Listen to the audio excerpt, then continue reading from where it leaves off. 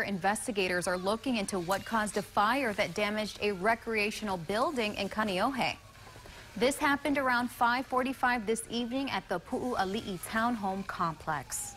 It was very red, just racing red straight up in the air, coming out of every hole in the building. And then it got on the roof.